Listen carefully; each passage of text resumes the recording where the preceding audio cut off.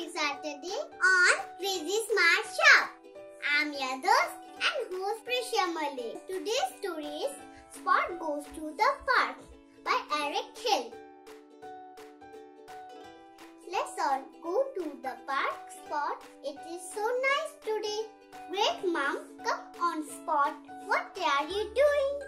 I am getting my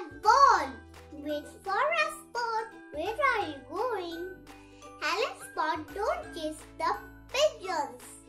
I'm only went to play. Oops! Where did the ball go?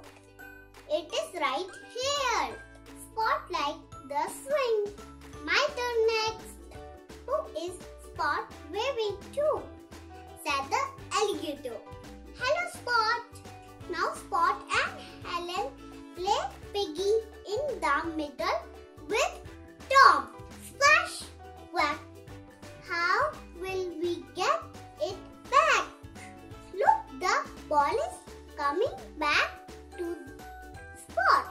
What? A kind duck. Say thank you. Spot quack quack. Hope you like my story. Don't forget to like, share, subscribe.